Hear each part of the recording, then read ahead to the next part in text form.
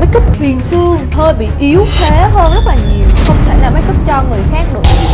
Cái này là phải có cái, cái có cái làm cho cái chân mày nó phẩy sợi nó dựng lên. Mình cũng không có cảm giác được là đây là một make up artist chuyên nghiệp. Còn nếu mà mình làm tay ngang á thì chỉ có make up được cho bản thân thôi. Thì không còn nghi ngờ gì qua cái đôi mắt này là Trần Thanh Tâm Oh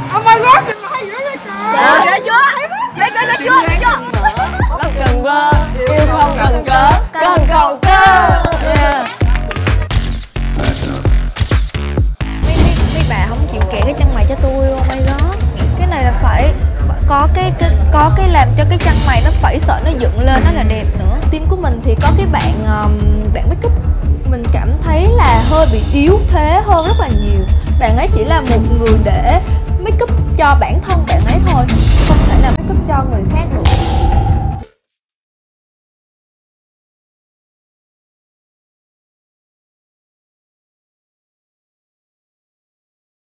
team của Tâm thì cái bạn modeling này là Tâm à, xếp đầu tiên nè, giỏi nhất nè. Xong rồi đến uh, anh Gia Long. Xong rồi đến anh design icon Tại vì Tâm cũng không có tiếp xúc gì ảnh nhiều á Nên là à, mình sẽ hơi ưu ái anh Gia Long hơn một xíu. Còn cuối cùng là bạn beauty icon là bạn Huyền Phương. Mình xin lỗi nhưng mà thật sự mình cảm thấy là bạn hơi yếu thế hơn so với lại những bạn make up của team khác. Thứ nhất là về cấp đồ nè cái thứ hai là khả năng sáng tạo á. Bạn beauty icon này thì mình có biết trên tiktok là bạn ấy rất là giỏi về nhiều thứ. Nhưng mà tại vì đã đi thi cuộc thi này là về beauty thì mình còn phải tập trung về beauty thì tâm thấy là bạn make up cho bạn rất đẹp. Nhưng mà uh, khi mà bạn make up cho một người khác á, thì tâm cảm thấy là nó chưa có tới. Khi mà bạn ấy làm trên mặt của mình á mình cũng không có cảm giác được là đây là một make up artist chuyên nghiệp vậy. Và lấy son ra và chuẩn bị trước đi và đánh cho tôi luôn. Lấy son đi lấy son đi. Son dưỡng son, son bóng nữa. Mình mình cũng đã hay dự sự kiện đó, nên là cái cách mà mình chọn một make up cho mình á nó hơi khó.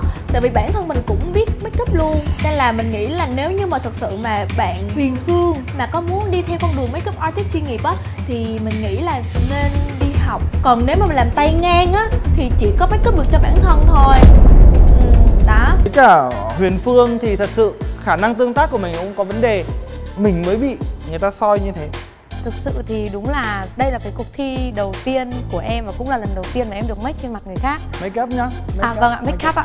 Bạn ấy nhận xét rất là đúng ạ. Em chỉ là một tay ngang Và em hy vọng là cái tay ngang này vẫn có thể có cơ hội để trở thành beauty icon. Vì em nghĩ là beauty icon nó giống như cái tên gọi của nó vậy Beauty, đẹp và icon Iconic thì em nghĩ là nó chỉ cần tỏa sáng yeah. Xin cảm ơn nhóm số 4 Và hẹn gặp lại các em Đón xem tập tiếp theo của Phát Shop 2022 by TikTok sẽ được phát sóng vào lúc 20 giờ ngày 23 tháng 10 năm 2022 trên kênh TikTok chính thức của chương trình 21 giờ trên hệ thống các kênh digital của Multimedia VSC. This fashion.